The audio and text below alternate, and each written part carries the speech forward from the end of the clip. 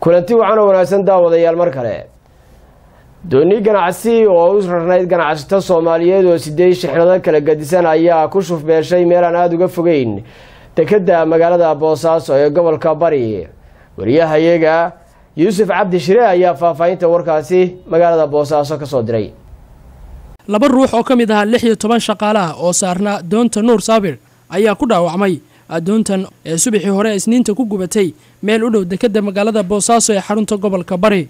Doontan ayaa sidoo kale waxaa gubtay dhammaan hantidii saarnayd oo isugu jirtay bagaash gawaari shidaal gaaska cuntada iyo badeecooyin kale sida uu sheegay wasiir ku-xigeenka dekedaha puntland.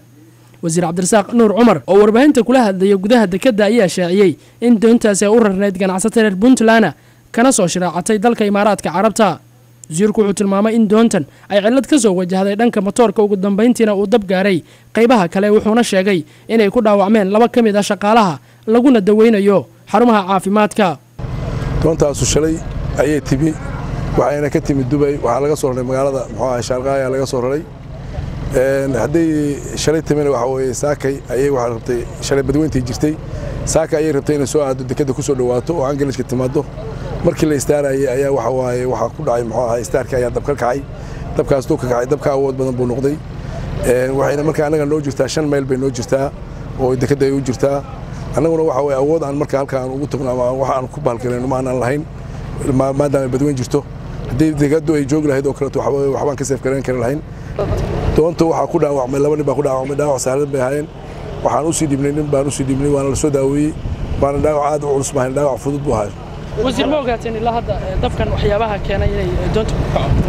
Doontan waxaa keenay dabku doonta markii la istaarayey doonta shalay bay timi badday dhignayd baddaa fog haddii ay dhignayd waxaa weye saaka markay rabtay inay soo dhawaato oo angelajka timaado markii la istaarayey ayaa batoorka uu dabku ka dhashay. Wasiirka ayaan weydiiyey in wasaaraddu ay ka gaabisay wax uqabashada addoontaas maadaama ugu dambayn ay ku basbeeshay meel laba mayl u jidhaa dekedda magaalada boosaaso balse wasiirku wuxuu sheegay inaysan awoodin in meeshii uu dabku ka bilowday ay ugu gurmadaan. Waxa weeye waxaasoo wax kama jiraan wey waxba kama jiraanin. Doontaan badweyn bay ku degtay oo dab ku qabsaday. Idinkuna waad soo aragteen. Dekedda ma yiniman shan meel bay u jirtaa annagu waxa aanu badbaadin karraa oo aanu ilaalin karraa aanu badbaadin karraa oo gaadiid aan awood u leenahay oo gaadiid u leenahay dekedda waxa ku jira ayaan u haysanaa badamisyadii kuwaas ayaanu ku badbaadin karraa markaa idinku tagta saaka dabka wuxuu bilowday maxaa sagaalkii bilaasu bilowday? Idinkuna markaa tagtay waxa weye labii tobankii bay ahayd. Waxa weye marka waxay saddex saac bay soo socotay oo dabayshu ay soo waday. Marka waxa weye saddex saac bay macnaha ay soo socotay oo weli dabayl xoog badna ay waday.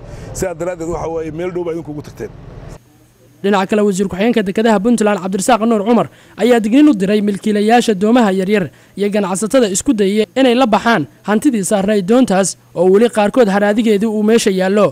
Wuxuuna uga digay